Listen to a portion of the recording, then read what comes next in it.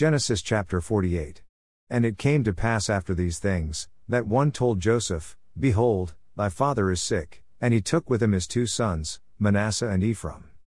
And one told Jacob, and said, Behold, thy son Joseph cometh unto thee, and Israel strengthened himself, and sat upon the bed.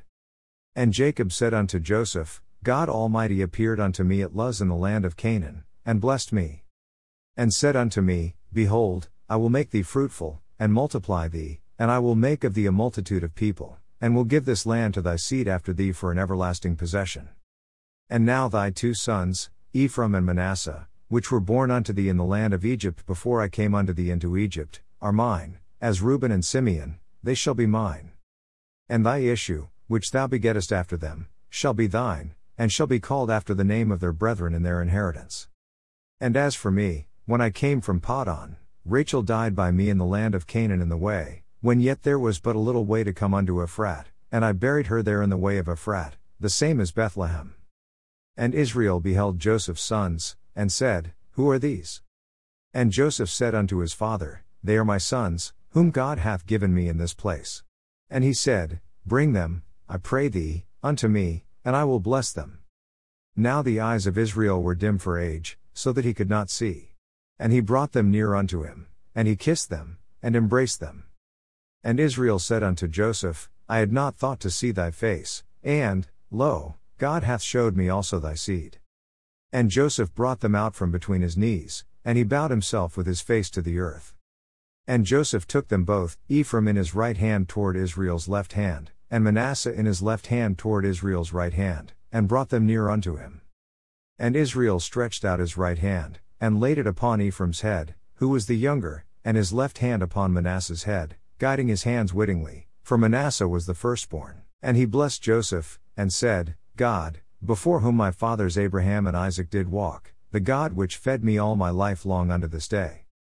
The angel which redeemed me from all evil, bless the lads, and let my name be named on them, and the name of my fathers Abraham and Isaac, and let them grow into a multitude in the midst of the earth. And when Joseph saw that his father laid his right hand upon the head of Ephraim, it displeased him, and he held up his father's hand, to remove it from Ephraim's head unto Manasseh's head. And Joseph said unto his father, Not so, my father, for this is the firstborn, put thy right hand upon his head.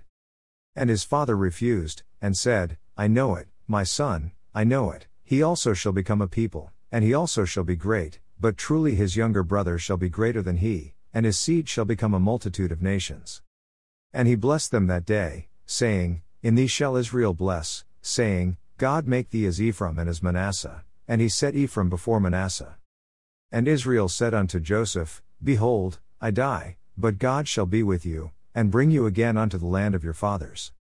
Moreover, I have given to thee one portion above thy brethren, which I took out of the hand of the Amorite with my sword and with my bow. Genesis chapter 49. And Jacob called unto his sons, and said, Gather yourselves together, that I may tell you that which shall befall you in the last days. Gather yourselves together, and hear, ye sons of Jacob, and hearken unto Israel your father. Reuben, thou art my firstborn, my might, and the beginning of my strength, the excellency of dignity, and the excellency of power, unstable as water, thou shalt not excel, because thou wentest up to thy father's bed, then defiledst thou it, he went up to my couch. Simeon and Levi are brethren, instruments of cruelty are in their habitations.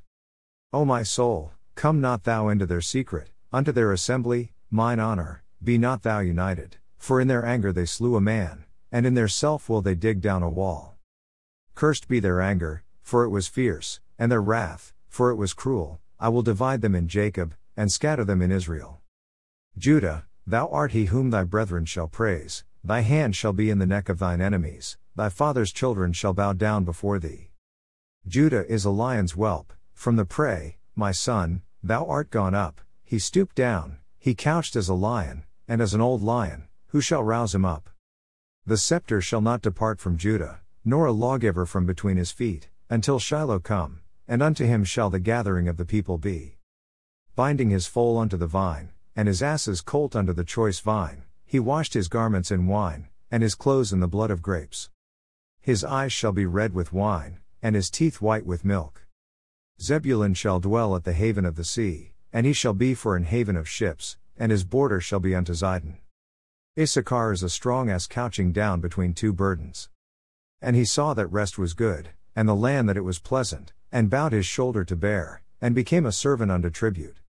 Dan shall judge his people, as one of the tribes of Israel. Dan shall be a serpent by the way, an adder in the path, that biteth the horse heels, so that his rider shall fall backward. I have waited for thy salvation, O Lord. Gad, a troop shall overcome him, but he shall overcome at the last. Out of Asher his bread shall be fat, and he shall yield royal dainties. Naphtali is a hind let loose, he giveth goodly words.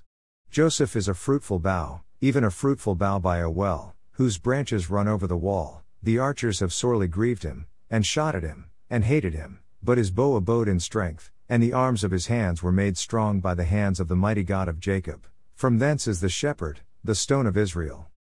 Even by the God of thy father, who shall help thee, and by the Almighty, who shall bless thee with blessings of heaven above, blessings of the deep that lieth under, blessings of the breasts, and of the womb. The blessings of thy father have prevailed above the blessings of my progenitors unto the utmost bound of the everlasting hills, they shall be on the head of Joseph, and on the crown of the head of him that was separate from his brethren. Benjamin shall raven as a wolf, in the morning he shall devour the prey, and at night he shall divide the spoil. All these are the twelve tribes of Israel, and this is it that their father spake unto them, and blessed them, every one according to his blessing he blessed them. And he charged them, and said unto them, I am to be gathered unto my people, bury me with my fathers in the cave that is in the field of Ephron the Hittite. In the cave that is in the field of Machpelah, which is before Mamre, in the land of Canaan, which Abraham bought with the field of Ephron the Hittite for a possession of a burying place. There they buried Abraham and Sarah his wife, there they buried Isaac and Rebekah his wife, and there I buried Leah. The purchase of the field and of the cave that is therein was from the children of Heth. And when Jacob had made an end of commanding his sons, he gathered up his feet into the bed, and yielded up the ghost, and was gathered unto his people. Matthew chapter 15 verses 29 through 39. And Jesus departed from thence, and came nigh unto the Sea of Galilee, and went up into a mountain, and sat down there. And great multitudes came unto him, having with them those that were lame, blind, dumb, maimed, and many others, and cast them down at Jesus' feet, and he healed them.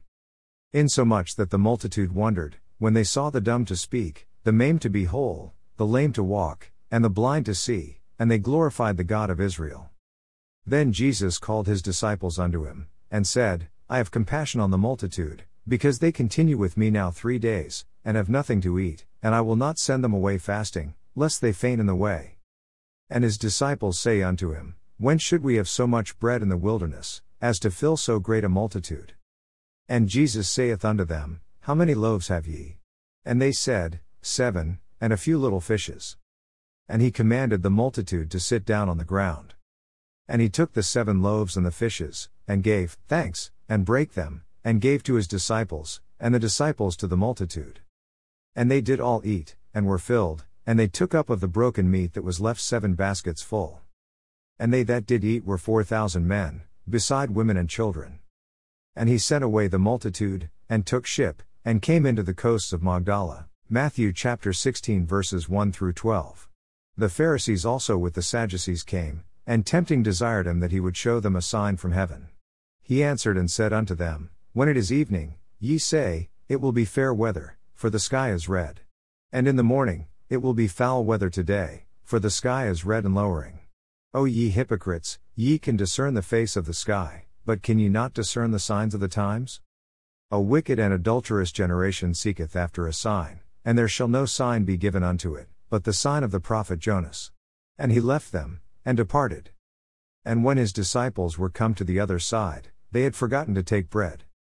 Then Jesus said unto them, Take heed and beware of the leaven of the Pharisees and of the Sadducees. And they reasoned among themselves, saying, It is because we have taken no bread. Which when Jesus perceived, he said unto them, O ye of little faith, why reason ye among yourselves, because ye have brought no bread?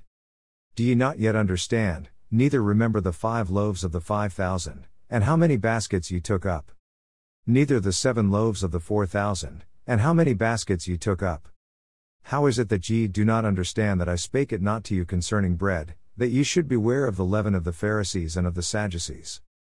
Then understood they how that he bade them not beware of the leaven of bread, but of the doctrine of the Pharisees and of the Sadducees. Psalms chapter 20. The Lord hear thee in the day of trouble, the name of the God of Jacob defend thee, send thee help from the sanctuary, and strengthen thee out of Zion. Remember all thy offerings, and accept thy burnt sacrifice, Selah. Grant thee according to thine own heart, and fulfill all thy counsel. We will rejoice in thy salvation, and in the name of our God we will set up our banners, the Lord fulfill all thy petitions. Now know I that the Lord saveth his anointed, he will hear him from his holy heaven with the saving strength of his right hand. Some trust in chariots, and some in horses, but we will remember the name of the Lord our God. They are brought down and fallen, but we are risen, and stand upright. Save, Lord, let the King hear us when we call. Proverbs chapter 4 verses 20 through 27. My son, attend to my words, incline thine ear unto my sayings.